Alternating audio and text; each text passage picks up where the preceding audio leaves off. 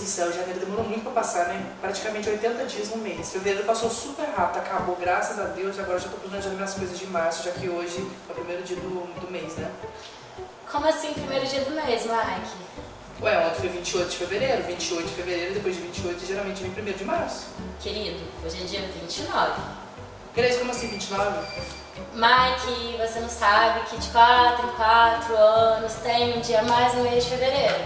Como assim? Por quê? E eu vou saber? Vamos perguntar pra quem sabe? É verdade. E aí, por que a cada 4 anos temos um dia a mais em fevereiro no calendário? Quando vai medir quanto tempo demora a Terra dar uma volta em torno do Sol, isso é feito através de uma estrela que está é, que foi escolhida, né? E é a partir da qual a gente vai medir essa essa volta que a gente dá em torno do Sol.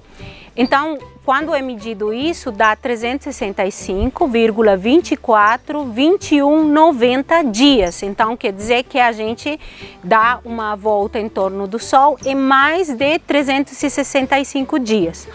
Por que, que vem esse, esse tempo a mais de vírgula 24, 21 e 90? Então, quando a Terra, além de ela dar voltas é, em torno de si, que é a rotação dela, né? Então, a rotação dela faz com que a gente entenda um dia, porque aí ah, durante 12 horas mais ou menos no Equador, por exemplo, você vai ter de dia e 12 horas de noite, né? No caso da gente é diferente. E eh, ao mesmo tempo você que está dando a rotação, a Terra também está dando voltas em torno do Sol. Então, no momento que a Terra dá voltas em torno do Sol, mesmo sem rotação, ela acaba dando uma volta em torno, do, em torno de si, né? Então, é por isso que vem por dia mais ou menos um minuto né, de, a mais por dia.